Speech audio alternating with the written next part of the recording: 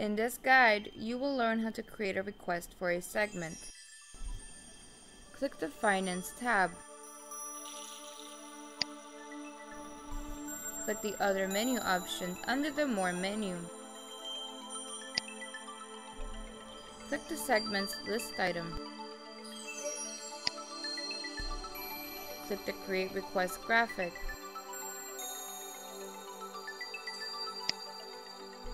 Click the button to the right of the default category field.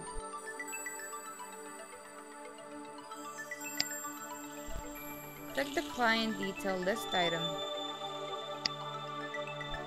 Click the Other Client Detail option. Click the Medium Priority option.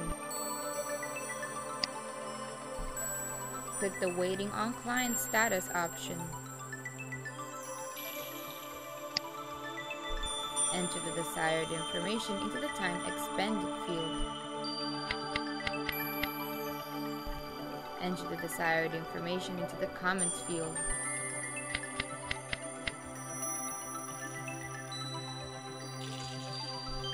Click the Save button. Congratulations, you have completed the creator request for a segment guide.